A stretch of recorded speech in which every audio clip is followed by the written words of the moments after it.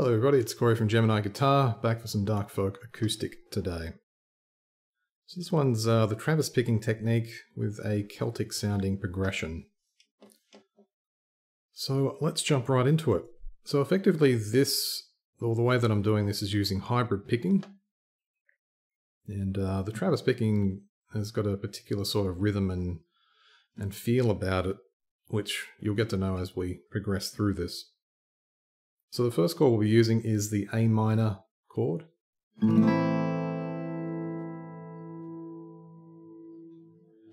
So what we're going to be doing to begin with is we're going to use the pick on the fifth string and we're going to use our third finger on string two. We're then going to use the pick on the fourth string, the middle on the third string.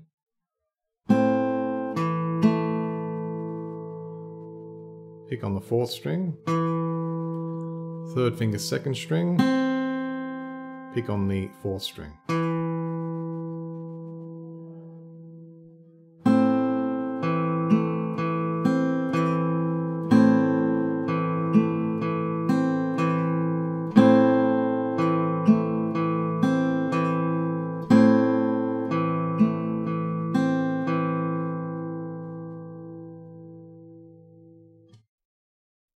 From here we'll be uh, going to a C major 7 chord.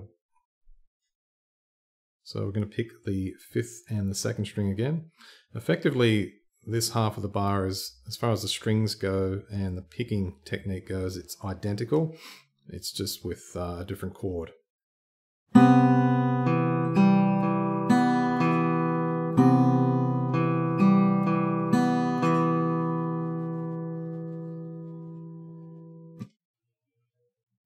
Let's have a listen to bar one.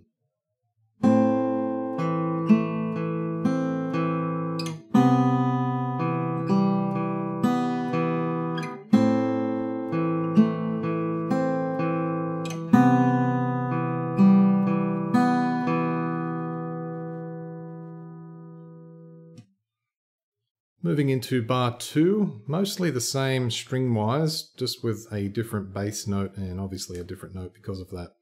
So this one's the easy G voicing where we only need the third finger at fret 3 on string 6. Same picking technique in the order we've been doing, just uh, as I said, just the different bass note when we're plucking on beat 1.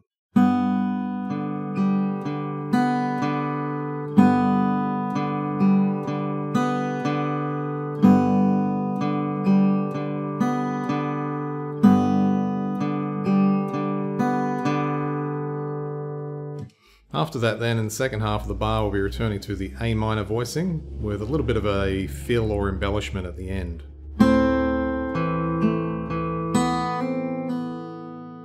So I'm picking the second string,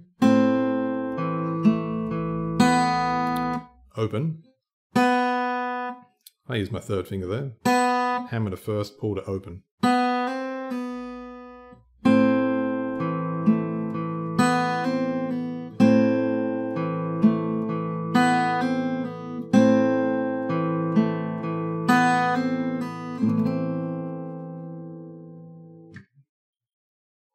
Into bar three, A minor voicing again. This time though, we're going to pick the, with our third finger, the first string along with the open fifth string for the beginning of the bar.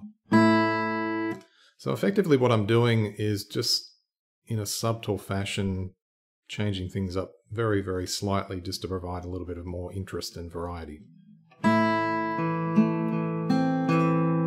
Now, one thing to pay careful attention to is making sure that you let everything ring out where possible.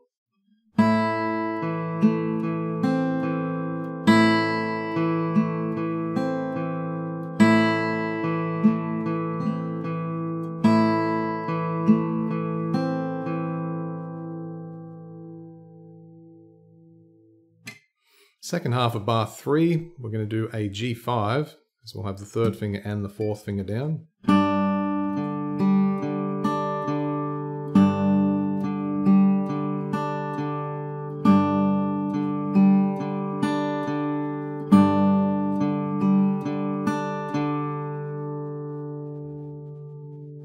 And we're going to have a alternate ending one. So we're going to use an E minor voicing. That's bar four.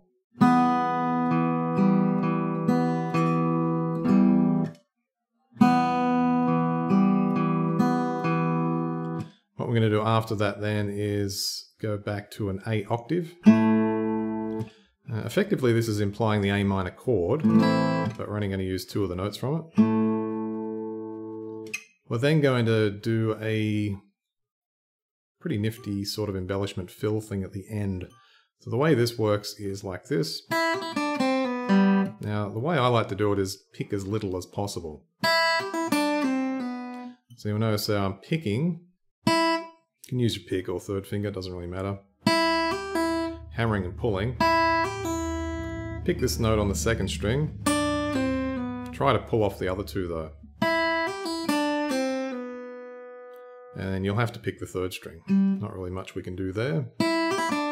An upstroke with a pick works well. Now, do note that you'll be returning virtually straight away back to the A minor counterpoint voicing there. So you'll have to be, well, you might have to practice that a bit to get it right.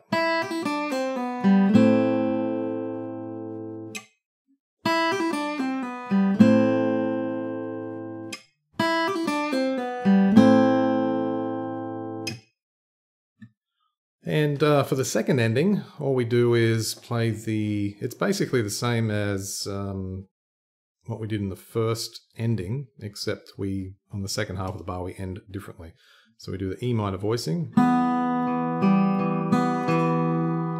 Now shift position, so put first finger fret 2 on the third string with the open fifth. Pluck the uh, fifth string with your pick and the, the third string with the middle finger. Then let that ring and then play the A note in the higher octave from this A note. So just here and just let it all ring out. Or third finger.